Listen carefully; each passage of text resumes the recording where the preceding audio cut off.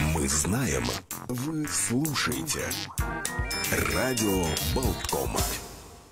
Как встретились, так и поговорили. Я хочу, используя эфир, радио, которое я слушаю э, всегда здесь, в Латвии. Интересные люди, случайные встречи, неожиданные интервью. Знаете, что самое страшное? Самое страшное – это начать бояться. Для хорошей беседы не нужен повод, и время не имеет значения. Но место встречи изменить нельзя. Спасибо, ребят, очень круто. Наконец-то высказался что-то. Только на Радио Болтком.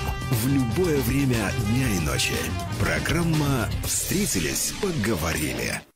Всем доброго дня, здравствуйте. Олег Пека и Александр Шунин вместе с вами. Как мы и обещали, в нашей студии появился долгожданный гость, психолог, теле- и радиоведущий, писатель, автор э, многих книг «Хочу и буду принять себя», и вот недавний «Люблю и понимаю», которую вот буквально не так давно читал, держал в руках, Михаил Александрович Лобковский. Здравствуйте. Здравствуйте. Э, Мы заранее уже договорились о том, что, наверное, ну, в, в 1 сентября как-то задает тему, может быть, э, детскую. Я знаю, что у вас будет публичная онлайн-консультация на вашем сайте, так что, может быть, тоже не будем, от- ну, с одной стороны, отнимать хлеб. А с другой стороны, Отнимайте, отнимайте, отнимайте. Спокойно. Хлеба на всех отношусь. хватит. Хлеба точно. Главное, чтобы дети поели.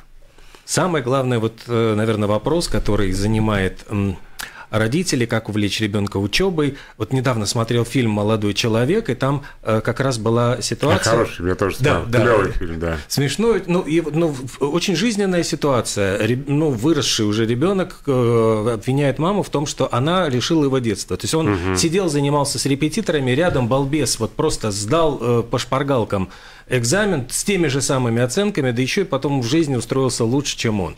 Вот возникает ну, вопрос, а зачем учиться вообще, что дают знания? Ну, давайте, да, интересная тема, поговорим. Тем более у меня э, нетрадиционное отношение к этому учебному процессу. Значит, речь идет о том, что у многих родителей есть, а, представление о том, как правильно жить. Туда вписываются такие вещи, как хорошая школа, хороший университет, хорошее образование и, как следствие, хорошая работа. А работа, а, общество, которое тебя окружает и так далее. Вторая проблема этих же родителей и других родителей, что они люди с комплексами, а, в жизни сами не получившие образование, не заработавшие денег, и они считают, у них такая, ну, навязчивая мысль, идея, да, что дети должны самые лучшие получить, а самые лучшие это хорошее образование и так далее. Что я могу на это сказать?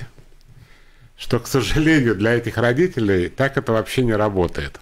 Я обычно в пример привожу знаменитую историю между Джан Роллинг, которую вы все знаете, и ее парнем, которого не знает никто. История это была в том, что она училась, как я сказал бы, в церковно-приходской, какой-то дерьмовой школе, ну, в смысле, в университете, никому неизвестном. А ее парень, которого за, она за ним бегала, он учился в Лиге Плюща, самые престижные университеты мира. И над ней все э, иронизировали, что она, как это, Не со свиным рылом, да, в калашный ряд, то, что по-русски называется. Обратите внимание, я говорю, парень, парень, знаете почему? Я не знаю, как его зовут, и никто не знает, как его зовут. Зато все знают, как зовут Джан Роллинг, а если кто-то не знает, ее состояние 2 миллиарда, она у нас в Великобритании живет, фунты стерлингов. Ну, Слушайте, делайте вывод сами. Ну, а давайте немножечко с другой стороны зайдем. Тоже та же самая история. Вы описали, в принципе, вот э, школа, детский, точнее, детский сад, школа, университет, там, Лига Плюща. э, В принципе, срез британского общества. Оно кастовое, да, не без этого. Но, тем не менее, приведенный вами пример – это скорее исключение, чем правило. Потому что в любом другом примере этот самый парень, который закончил старейший университет, и его воспитывали определенным образом с детства, Так. он как раз-таки показал бы лучшие результаты. Мы их можем мерить материально, в миллиардах, там, в любой валюте, а мы можем э, в престижной профессии или каком-то другом самоутверждении в жизни. Просто Давайте- давайте Роллинг обсудим это. оказалась талантливее его, ярче, как Ну, во-первых, личность. видите, да, как-то талант никак с образованием напрямую не связан. Но я хочу и на вашу реплику ответить. Дело в том, что хорошее образование нужно для наемной работы. Когда вы получили хорошее образование, и вы становитесь э, на рынке труда в очередь для получения престижной и хорошо оплачиваемой работы, ваше образование учитывается. Но если вы хотите заниматься бизнесом, вы можете даже в школу не ходить, потому что 60% миллионеров США вообще не имеют образования, ну, я имею в виду высшее. И вот, знаете, такой, как это, торт, и наверху вишенка по фамилии Цукерберг, который один из самых богатых людей в мире и не кончил университет, если вы не в курсе. Ему сейчас дали уже почетного, но вообще, когда он стал миллиардером, он не закончил университет. К чему я это все рассказываю? Я не против хорошего образования. Я против того, чтобы над детьми издевались, чтобы их мучили, чтобы детям... Кстати, давно уже психологи выяснили, что опережающее обучение ничего не дает. Например, изучение в три года иностранного языка, октажное хождение на все возможные курсы и кружки, как то э, футбол, э, музыка, я не знаю, танцы, плавание и так дальше, это все, э, и особенно если ребенок не хочет, ни во что не превращается дальше. Особенно никому не нужен язык. Любой ребенок на полгода по, по, по как сказать, погруженный в языковую среду, без этих издевательств и так будет без акцента говорить на, на, на английском да, или на французском и так далее. Но, вы знаете, к сожалению, многие родители, озабоченные вот этим престижем, они ребенка с утра до ночи куда-то отправляют. Если ребенок хочет, другое дело, но обычно дети плачут.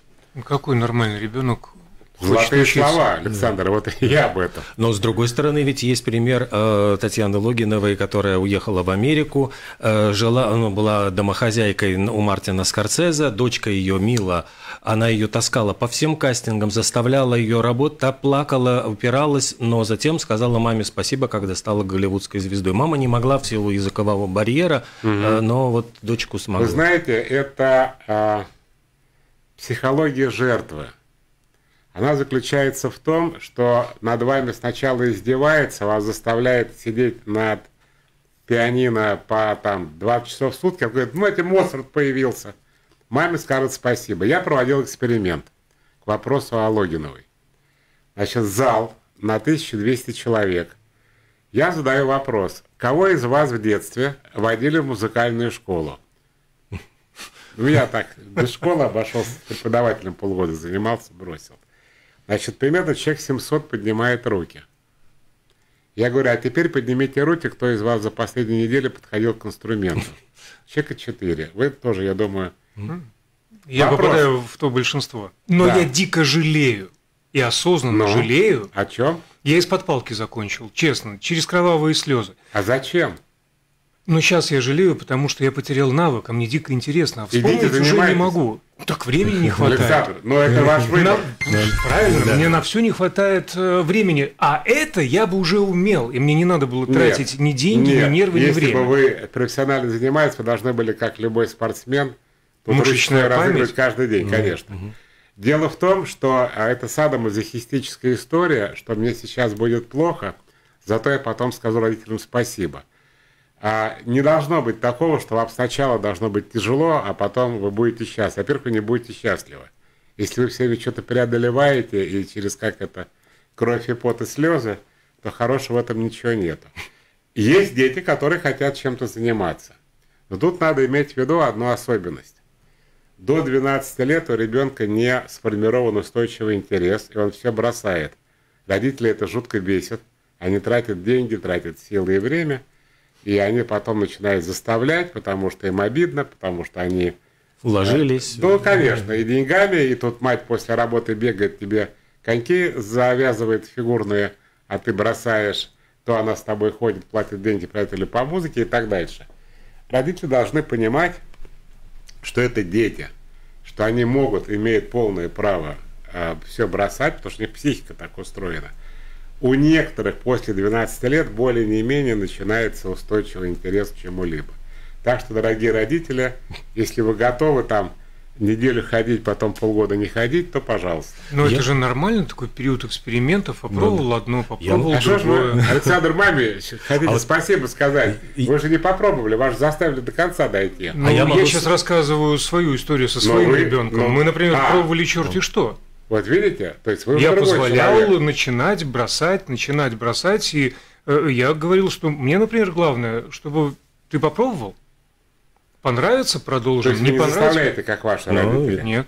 Вот, а я могу сказать свою историю. То есть музыкальная школа меня несколько раз отвели туда, после чего ну, мне говорили, ну представь себе, ты вырастешь, придут в гости, ты сядешь э, к пианино, сможешь что-то сыграть. И вот после этих нескольких слов я сказал, мам, ты знаешь, вот у меня есть ощущение, что я не, не захочу сыграть. Давай я просто не буду И тратить на потом это время. лучше на гитаре. А то по гостям с пианино тяжело ходить будет. да. И она, она, она согласилась. То есть э, она сказала, что хорошо, окей, все, тогда не будем. Знаете, это напомнило мне знаменитый грузинский анекдот, как грузинский папа дарит своему семилетнему сыну золотой пистолет. И сын идет гулять, приходит, и у него нет пистолета. У него вместо пистолета часы золотые.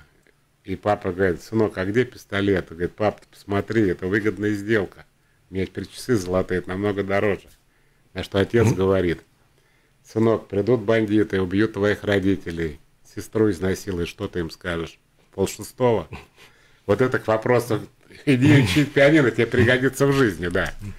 Не пригодилось. Ну так э, ваш пример, анекдот как раз таки иллюстрирует, что родители А это Часто есть, бывает да, правы. анекдот. Вы знаете, Тебе родители не в могут жизни. быть правы, заставляя ребенка вообще что-либо делать. Хорошо, в Это этой, сразу связи, в этой связи вопрос. Ну тогда вообще пустить на самотек. Другая крайность получается. Любимая тема, Александр, да. Пустить на самотек. Дело в том, Не, ну если не заставлять, если не принуждать, должна быть какая-то золотая середина, но все-таки между ответственностью, экспериментами, там, приучением к определенной дисциплине. Ну, Смотрите, а, дисциплина, давайте так, она должна иметь какой-то смысл. Ну, например, у ребенка должны быть убраны игрушки, или там постелена кровать, или когда он чуть постарше, он должен вымыть за собой тарелку. Я обеими руками за. Туда не входят необязательные программы кружков, секций и других занятий. Более того, во всем мире, практически во всех странах, родители обязаны дать ребенку образование. Если ребенок говорит, я не хочу учиться в школе, родители не могут сделать так, чтобы он нигде не учился. Потому что во многих странах, за это, не знаю, в Латвии, наверное, штраф тоже платят. Ну, Да, во, во многих да. странах это, это Ну, как бы не, вообще не выбор ребенка, да. да. Он может учиться дома, индивидуально, я не знаю, еще как-то. В школу может не ходить, но он должен получить образование. Экстернатом, заочно, как угодно. Так вот, вы ребенку говорите, например, сынок, убери свою комнату, потому что это, это не дисциплина, это ты просто живешь здесь. Поэтому это твоя обязанность. Ребенок, конечно же, все дети нормальные, только с десятого раза понимает, и то не всегда. Ее не убирает. Тогда вместо скандалов, криков и всего остального, ребенка, я не знаю, там, пропадают игрушки. Мама говорит, вот видишь, им не нравится в этой грязи жить, поэтому они от тебя ушли. Если хочешь, чтобы они вернулись, начинай убирать. Уберет. Но когда вы говорите, что нам нужна дисциплина ради дисциплины, а то что, с ребенком у него проблема с головой какая-то, он неадекватный, что с ним будет? Он превратится в животное? Вот эти страхи, к сожалению, плюс агрессия родителей заставляет просто ребенка, ну как сказать, что-то делать, что вообще не имеет никакого смысла. Я когда, вы знаете, в разных армиях мира есть свои заморочки. В советской армии э, бойцов заставляли, это называлось отбивать угол, чтобы у тебя постеленная кровать имела складку вот перпендикулярную, вот горизонтальная часть одеяла и спадающая, чтобы прямо шов был. И подушка должна треугольником стоять. Попал я в израильскую армию. В, Израиле просят одеяло сложить с восьми углами. И на это уходит еще дикое количество времени. Там есть офицер-воспитатель, такая должность. Вот ты приходишь в казарму, тебе показывают, как складывать, ты нифига не понимаешь. Складываешь, вся казарма складывается, вся рота. Вон терпеливо, правда, он в песок бросает, ты обратно достаешь из песка, отряхиваешь. Еще раз, пока не научишься. Вот это мне напом- напоминает, но это такие армейские, ну, я не знаю, бред какой-то, короче, армейский. Но ребенок э, должен вырасти свободным человеком. Ну вот как раз по поводу свободы. Э, Многие говорят о том, что эти кружки, эти дополнительные занятия, они как бы занимают вот это свободное время ребенка, чтобы у него не было времени, не знаю, там курить, там болтаться с нехорошими компаниями, встречаться с нехорошими людьми. Вот он просто под контролем, и это, ну, все равно же попробуют. Во-первых, Александр прав. А во-вторых, Олег, если позволите, я вам отвечу на эту реплику. Дело в том, что это называется заорганизованность. То есть ребенок чувствует себя как в тюрьме или в армии, у него нет ни минуты свободно, все время чем-то занят, потому что родители боятся, что если он не будет занят, то начнутся плохие компании и все остальное. Что происходит на самом деле? Ребенок, который не имеет выбора, конечно, как правильно сказал Александр, попробует, и это будет уже не смешно, потому что ему будет не 13 лет, а 25-30, когда многие уже развелись. И женщины, например. И в это время и ребенка родили, он начинает курить траву, нюхать кокс и так дальше. Оно вам надо? Лучше, когда вы ребенку, во-первых, даете время, чтобы он сам себя занимал. Это ему надо, вот это свободное время, чтобы он научился сам себя занимать. Понимаете, как? Если он у вас все время чем-то занят, то, что вы ему придумаете, он так и не понимает, а что ему самому-то делать? У него нет ответа на этот вопрос. Он как будто все время в казарме живет, где отцы-командиры за него все решают. Поэтому я считаю, что ребенок должен минимум 2 часа в день. Слушайте, а откуда у него свободное время? У него даже в детском саду занятия, а про школу я вообще молчу. Два часа в день он должен сам себя занимать. Родители ему включают там мультфильмы, дают гаджет, это очень плохо. Надо, чтобы он просто себя чем-то занял, научился себя занимать. Вот что я думаю на эту тему. По поводу а, а, учебы, вот а, если ребенок не хочет учиться, то есть, ну, у него ну, просто нет желания. Он пришел из школы и говорит, ну, я больше не хочу ходить, или там, ну, или у него проблемы с учителями. Вот что нужно делать родителям, чтобы нужно искусственно поддерживать, делать с ребенком занятия? Давайте разберемся. Значит, э, начнем вот с чего. Я не знаю, в Латвии как принято, когда ребенок первый класс поступает, там есть тестирование какое-нибудь? Вот у меня уже давно Нет, ребенок тоже. закончил. Давно не поступал. Я вот не подготовлены да. совершенно. Но во многих странах э, есть, ну, то есть, что ребенок соответствует психологическому возрасту. То есть, он может учиться, да? Что он адекватный. И он задает очень простые вопросы. Как человек, который 10 лет отработал в школе, я их до сих помню наизусть. Как тебя зовут? Как зовут твою маму? Какой сейчас день недели? Сейчас утро, вечер, сейчас зима или лето? Ну, такие простые вопросы. Ну, есть такой вопрос тяжелый, типа посчитай до 10 туда-обратно, но ребенок не обязан этого делать. Вот. Школа при этом берет на себя обязательство его обучать, имея в виду, что он абсолютно адекватный ребенок, и он обучаемый. Если ребенок вдруг начинает не хотеть учиться, для этого должна быть причина. Его обижают, ему плохо, ему некомфортно. Настолько тупая учительница, что она все время орет, он вообще не понимает, что она ему объясняет и так далее – вот с этим надо разбираться. Почему вдруг ребенок, которому 6 или 7 лет, который вообще в рот смотрит учителю, вдруг не хочет учиться? Что произошло? Но так же не происходит. Начинается по-другому. Ты ни черта не делаешь, ленивый, вырастешь идиотом. Ну и начинается вот то, что вы спрашиваете. Уроки с ним делать и так далее. Уроки вообще не надо с ребенком делать. Зачем? А если у него ну, вот проблема, он не понимает, что... Если ребенок э, сам не понимает и сам задает матери вопрос, то она только в рамках его вопроса, исключительно. С ним пытается решить этот вопрос. То есть, вот что непонятно, не давай я тебя проверю, что нам задали, покажи собранный портфель, расскажи стишок, который ты... Нет.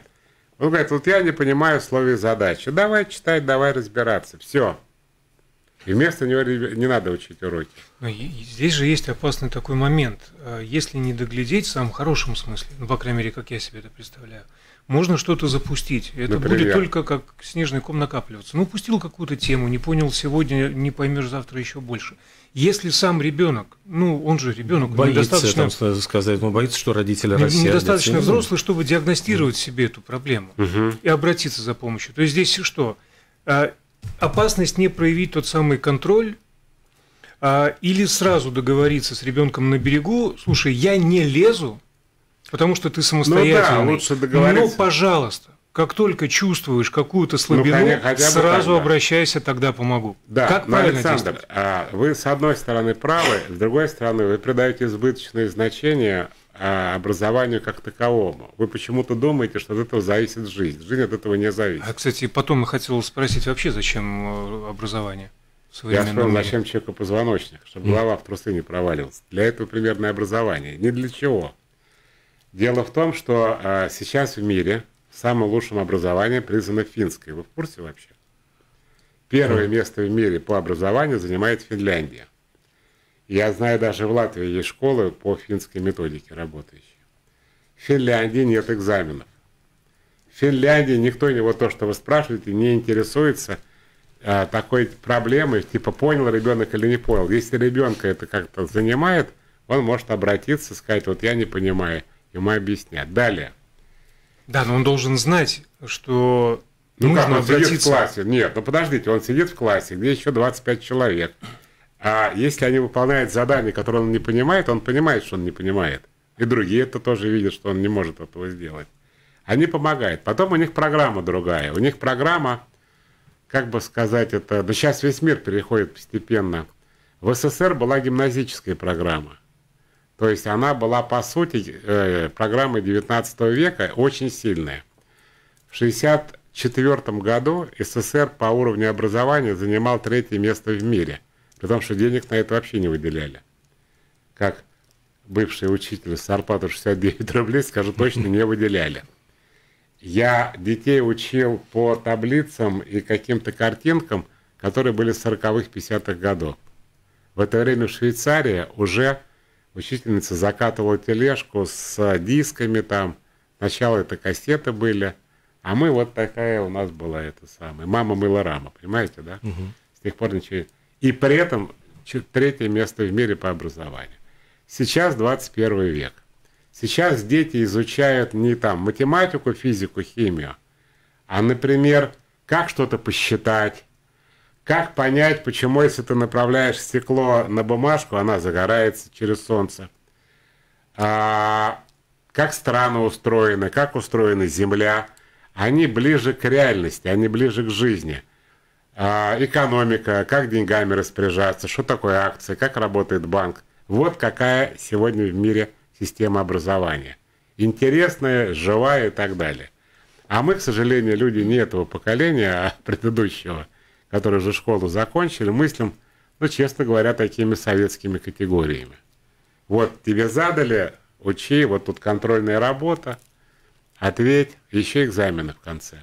А как это изменить эту систему, если получается, что го- готовят э, будущих э, учителей люди, воспитанные в старой методике? Ну, то есть, Тоже ну, по- старым уже- методикам. уже, да, уже по старым методикам. Когда-нибудь они умрут, и мы тоже. Все, что я могу сказать. Это не вечно. Голова все-таки провалится через позвоночник. Да. Отказываться от оценок стоит ли? Ну, вы знаете, а, и да, и нет. Дело в том, что а, были такие попытки заменить в начальной школе цифры на зверьков. Например, 5 белочка, 4 суслик, 3 зайчик. Но, как вы догадываетесь, дети через 5 минут точно понимали, что это оценки, которые выражаются через животных. Поэтому где-то надо отказаться, где? Где ребенок начинает э, себя оценивать, и он такой лузер, у него не получается, он плохо учится, он из-за этого страдает. Конечно, для таких детей это большая проблема, потому что они все время чувствуют, что больше тройки они не зарабатывают в этой школе. С другой стороны, а, существует некое соревнование между детьми, где дети хотят проявить свой соревновательный дух. Короче, я так, вот, как вы давно в школе не учились, так я давно в школе не работал. Поэтому сказать трудно, но я за то, чтобы, конечно, больше за отказ от оценок. И Финляндия. Финляндии, насколько я помню, за у них 12 лет, ну вот, начальная и средняя школа. И у них по желанию, или один экзамен за 12 лет, или по желанию ты можешь сдать. Я просто не знаю, как они потом в университет поступают, правда. Когда говорят лучшие в мире, имеется в виду знания. Чтобы вы не думали, что это типа детей всеми гладят по головке, поэтому они лучше всех. Нет, они знания показывают лучше, чем другие страны. А Но вот- их как-то оценивают эти знания? Практически никак. А вот э, насчет знаний, что важнее? Стоп, для себя, может быть, детям не, наверное, не говорят. Вот, я думаю, так. Что спросили? А У меня вот вопрос по поводу знаний. Э, Когда я учился, ну, тоже вот прекрасно помню, в школе, и в институте нас э, заставляли зазубривать огромное количество информации. И э, в какой-то момент, я сейчас просто оглядываясь назад, когда я не знал, не помнил дату Люблинской унии, мне там поставили там трояк, там, в общем, ужасно был.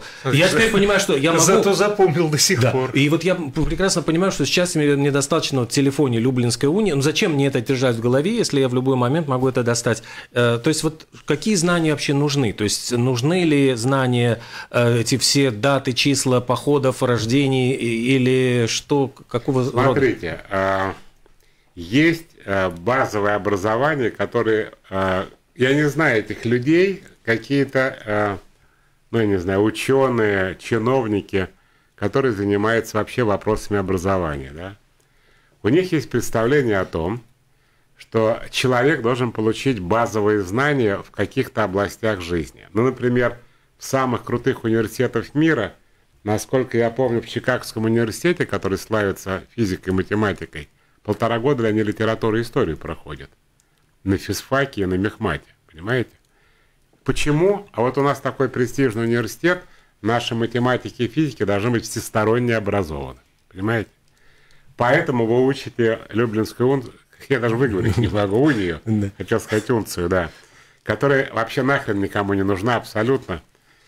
Э, и Никто ее и не помнит. Но в их представлении, очень странном на сегодняшний день, это говорит о том, что вы как мама с пианино, вы можете где-то в гостях блеснуть и сказать, друзья мои, кто из вас знает, когда была Люблинская уния? А я-то помню. Давайте попробуем. А, Даже Александр, друзья мои. название помните. Друзья мои, а кто знает, что такое градуирование монохроматора?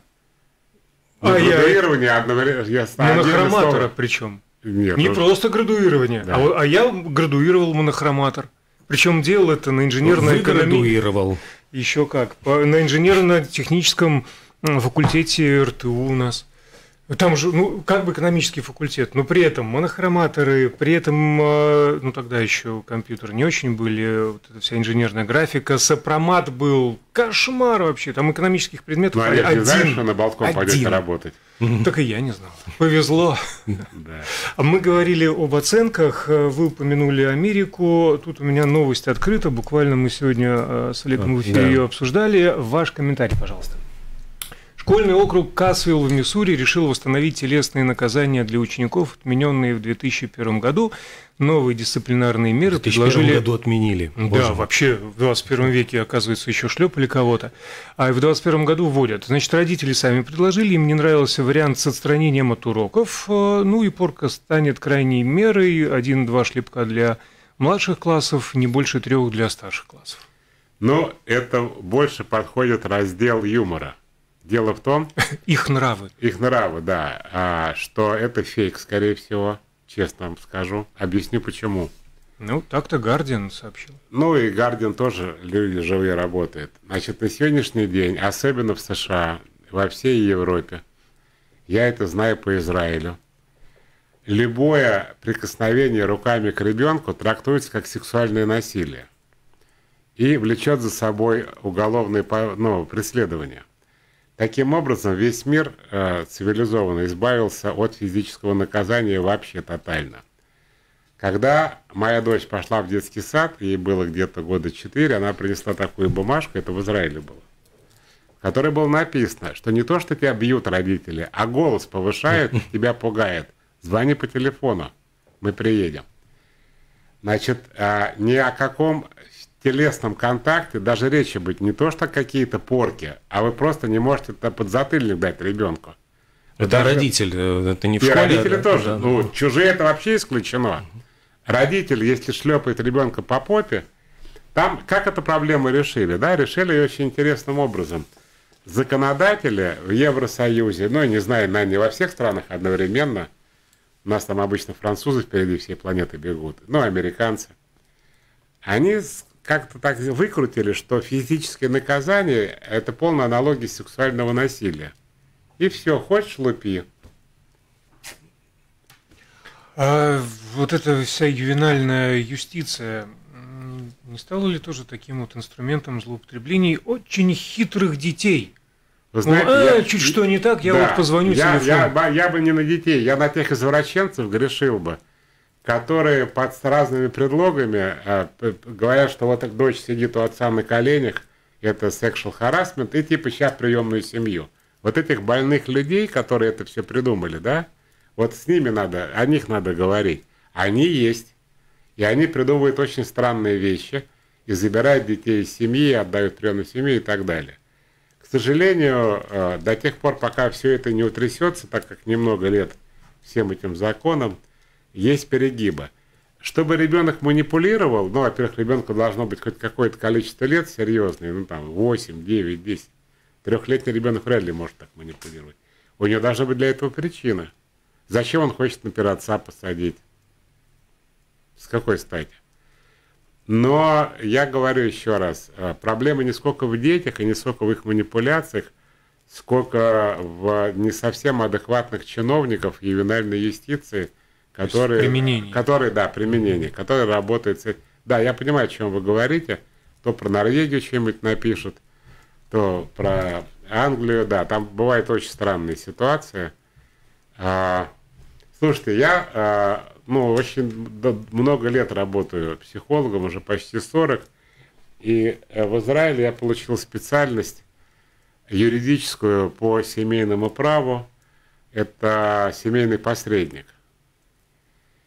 И ну, это юридическое образование, но оно неполноценное. То есть я не закончил никакого юрфака, я три года учился только на том, чтобы вести переговоры по опеке над детьми и разделу имущества при разводе. У меня такое специфическое. И вот был случай, когда а, на суде ребенок говорит, я хочу жить с отцом. Ну, вроде бы там мать присутствует, отец, но он не просто говорит, хочу жить отцом, а он при виде матери начинает рыдать, биться в истерике – и просить, чтобы мать вообще вывели из зала. И начали разбираться. Оказывается, папа, а ребенка настраивал против матери, говорит, что она больная, что если ты даже пальто повесишь рядом с маминым, ты умрешь. Ух ты. Да, он показывал какие-то картинки типа сифилиса, там проваленные носы и так дальше. И, а ребенку 11 лет было. У ребенка начались фобии, и он стал мать уже физически бояться. Но на суде, а там есть комиссия, э, которая задает ребенку вопрос, кем ты хочешь жить, да? Ну, в 11 лет ребенок может в суде высказать свое мнение. Ну, как бы ситуация понятна, ну, с папой хочет жить. Пришлось разбираться адвокату, которого мама наняла, чтобы вывести папу на чистую воду, потом ребенка лечить, потом папа решать прав за принесение ущерба ребенку и так далее. Там очень много подводных камней. Это все правда. Но ювенальная юстиция – это юстиция, защищающая интересы ребенка. Другой вариант – вы их никак защищать не будете. То есть, ну раз, мол, перегибы, давайте вообще, пусть у детей не будет прав никаких. Это будет еще хуже. Возвращаясь вот к теме образования, очень, наверное, ну, сейчас становится актуальным, когда дети а, наблюдая за взрослыми, чувствуют э, некоторое даже превосходство в том, что они э, э, более ловко обращаются с гаджетами, ну, что да. они гораздо более продвинуты. Вдруг они осознают, что они знают гораздо больше, чем, вот, ну, скажем, Марья Ивановна, которая в классе там с кнопочным телефоном. Вот это не роняет, ну вот насколько вот это отношение вот авторитет взрослых в глазах детей? Ну, во-первых, роняет, хотя еще больше зарплата роняет учителей, там просто сводит авторитет до нуля. Вот. А в Латвии, наверное, тоже небольшие Ну да, зарплаты, у нас да, да, сейчас э, идут очень большие, да, да, учителя все к забастовке бьют... готовятся. Да? Готовятся к забастовке. Учителя к забастовке готовятся. Ну да, потому что все себя бьют, э, чиновники, пяткой в грудь, что это самая главная специальность на земле. Просто вторая после мамы но деньги при этом платить никто не хочет, да. Зато платят тем, кто работает на заправках с газом и бензином, типа вот это нужнее, да, так получается. Странный, конечно, перекос. Но и когда я работал, я копейки зарабатывал, я думаю, с тех пор ничего не изменилось. Вы знаете, а, дети объективно, конечно, живут в другом мире, нежели их учителя, потому что разница в 20-30 лет – это техническая революция уже. Это как бы был черно-белый телевизор, стал цветной. Но те знания, которые они получают в школе, все-таки учителей держат на поверхности. Есть вещи, которые дети не знают. То, что касается гаджетов, всего остального, ну вот был тоже вопрос, а зачем нам эта уния, когда можно посмотреть это для тренировки памяти, считай, как и учение стихов. Наверное, так. Ну, в принципе, современном мире есть же такое понятие, как реверсивное образование, когда более молодые учат чему-то более зрелых. Это впервые, в принципе, в человеческой истории мы с таким столкнулись. Моя родная дочь меня учит. Значит, я вам объясню, о чем идет речь. А, когда я учился, время уже, да? Нет, ну, нет, нет, нет. нет. А, ну, я приходил анатомию, я даже помню, какое это градуирование, я тоже помню базальные ганглии, электроотрицательность нейронов, только не очень помню, что это значит. То есть прошло уже больше 40 лет. А моя дочь учится как бы в современном мире а, по американским учебникам, и сегодняшняя психология – это так называемая нейропсихология. Сначала было 2-3 университета, там а, колумбийский, в Израиле университет Ариэля, а теперь это все больше и больше. О чем идет речь? Что современная психология – это знание а, центральной нервной системы, работы мозга, префронтальной зоны, там, миндалевидного тела и так далее. То есть такая биохимия, Э, биофизика, анатомия и так дальше. Даже на грани с медициной, я бы сказал. И вот эти процессы в мозге и психологии, это и есть современная психология. Это привело к тому, что Юнга можно сразу выкинуть на помойку, он реально ни о чем. И даже великий Фрейд в половине своих идей тоже, ну, не то что заблуждался, в его время была такая наука, да, она двинулась вперед. Самый простой пример. Фрейд писал о том, что а гомосексуалы могут появиться из-за того, что у мальчика была агрессивная мать, он ее боялся, избегал, его тянуло к, к мужчинам. Нет. Генетика доказала, что это генетика и все. И мать здесь вообще ни при чем. И если даже ребенок растет в гомосексуальной семье, он не может стать произвольно гомосексуалом. Так это не работает. Для этого надо родиться. Более того, вы знаете, сколько полов? Не? 140, а не два как мы думали да, раньше. То есть современная психология сильно ушла вперед. И моя дочь мне очень многое рассказывает, и я с удовольствием, э, мне хоть 61 год, я не ревнивый, наоборот, мне нравится, когда она меня просвещает, и я это выдаю тоже э, на лекциях и так дальше. Нормально. Я, реверсивное образование имеет место быть, скажем так. Нам что со временем у нас? Да, нам показывают, что О! еще есть, да, еще есть несколько минут. Э, тогда, может быть, э, проблема э, вот в школе буллинга, например, ну вот когда ребенка не принимают Дети, что нужно делать родителям? Ну, идти ругаться, идти... Ну, ругаться сто процентов, угу. потому что это... ругаться с кем? Это с преподавателем. С... Это он должен угу. создать атмосферу среди детей такую, чтобы никто никого не трогал. И я вам честно скажу, как человек 10 лет отработавший в школе, именно учитель показывает на жертву. Своим пренебрежением, игнором, а иногда иронией. Он так может сделать, что зачморят любого ребенка в классе. А может не дать, ну это в начальной школе, в средней, конечно, от учителя мало что зависит, он уже не является авторитетом. Вот, и там уже атмосфера самой школы. То есть насколько у них дружные вообще взаимоотношения в школе, насколько это позитивная школа и так далее. Потому что там взрослые уже э, создают эту атмосферу. Но это недопустимо, конечно. То есть, в принципе, нужно родителю идти разбираться, разбираться с... Разбираться процентов и вплоть Зачем? до перевода ребенка в другую школу. А иногда, когда дети, они существа же жестокие достаточно. Был такой роман «Повелитель мух». Да, Короче, они друг друга все убивают если их оставить в покое. Значит, иногда э, больных детей иногда надо даже на какое-то индивидуальное обучение перевести, чтобы э, другие дети его не третировали. То есть, получается, вот эти все разговоры, ты э, должен быть мужчиной, ты должен разобраться сам. Ребенку параллельно надо, чтобы он занимался спортом, чтобы он умел давать сдачи 100%. Ну, Но пока он научится, его там забьют. В том числе это ну, одна из граней вот этого умения разобраться знать, к кому обратиться за помощью и не бояться обратиться Тоже за помощью. Я в Англии читал в Лондоне лекцию. А англичане как бы славятся, что это такой боевой народ. Они все воевали, воевали. И тут, значит, стоит отец, пираты, да, отец стоит ребенка и говорит, мой ребенок получил по морде, дал сдачи, и его сейчас отчисляют из лондонской школы. Почему?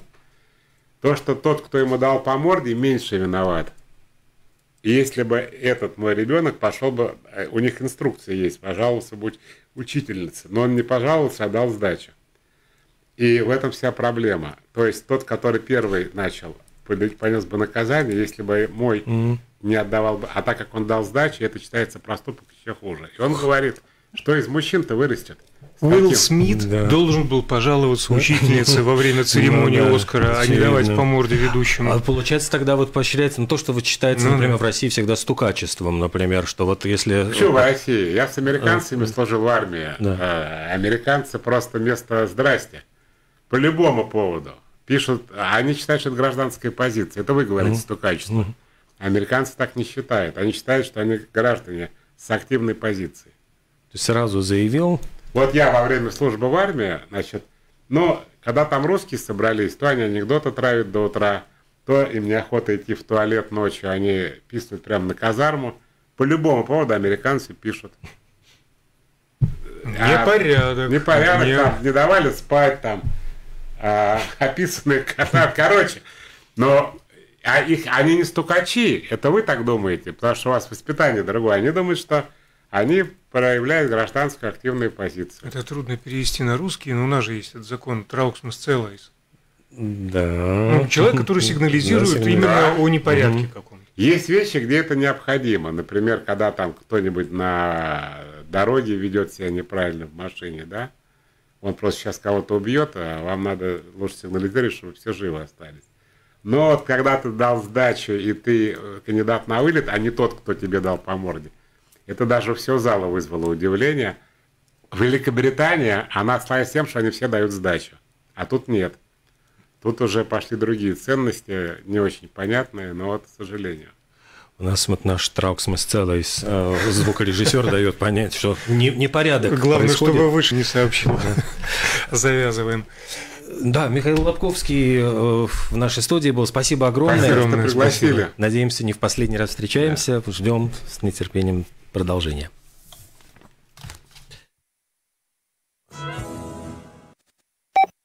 Каждый